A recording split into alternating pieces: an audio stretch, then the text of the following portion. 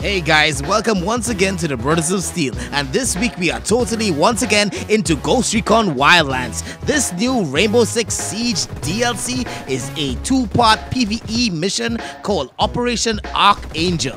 And though the mission is pretty straightforward, we are gonna give you some tips and some perspectives as to how to get through it faster, especially if you are a returning player. So, we got you covered.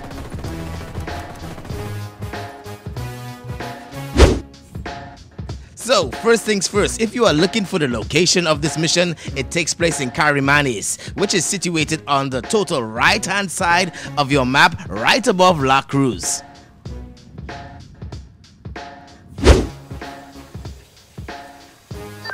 Bowman, this is Nomad. We've got a situation. We picked up an alert signal and tracked it to a crashed vehicle. We're good to go. Surprise, asshole. Now, answer my questions, or my voice will be the last thing you hear before you visit the great unknown. Looks like that Gozo's place. Let's find a way in. We have to breach. How about you let Rainbow show you how it's done? Who's got a breach charge? Ghosts prefer to do things a little quieter. So, when you reach the part where you actually have to meet up with Caveira, there is a possibility of a glitch. You have to precisely land in that area where it's indicated on the map. Otherwise, when you do walk up to her, somehow she glitches and she just stands over the guy's body and does nothing. Your ally wasn't very challenging.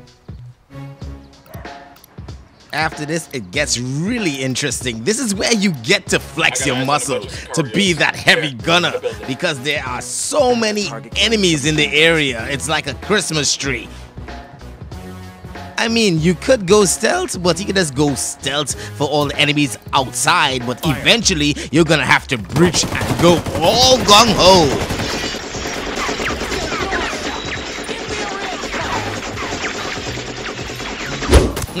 so if you think that Caveira is gonna help you with all that set of gun talk, think again. She's a fraud. She's just like an NPC, just like how Sam Fisher was in the last DLC. You cannot depend on her to help you. Basically, if you die, of course, only your teammates can rescue you. She'll just leave you for dead. And the only real thing that she does is get in your way. She constantly gets in the way of a firefight, just like how the rebels sometimes get in your way in a firefight. And I'm not sure what she is shooting. It almost looks like blanks or rubber bullets. She's just basically a distraction.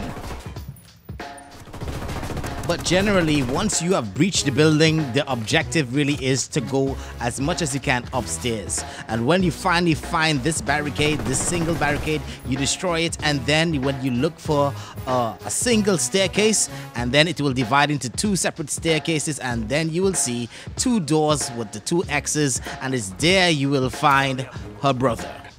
Well, if he's not dead, I have no idea how he died. Probably a bullet through the wall or something. Oh, wow. Anyway, so it's just a matter of extraction now. You go downstairs, get a car, helicopter, whatever you feel like. But don't forget, guys, uh, stick to the mission.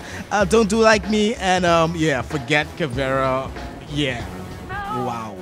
Anyway, she moves pretty weird anyhow. Just keep that in mind, right? So I was just showing this video to show some of my experiences with this new Rainbow Six Siege DLC, and it has been totally fun and worth it because at the end of the day, you're gonna get Caveira's gloves, which is not a Splinter Cell goggles, but it's certainly still worth it. So I hope you guys totally enjoy this DLC. Okay, so this is yours truly, Maximus of the Brothers of Steel. Don't forget to subscribe to our YouTube channel, give us a like on our Facebook page, and as always, share up the love.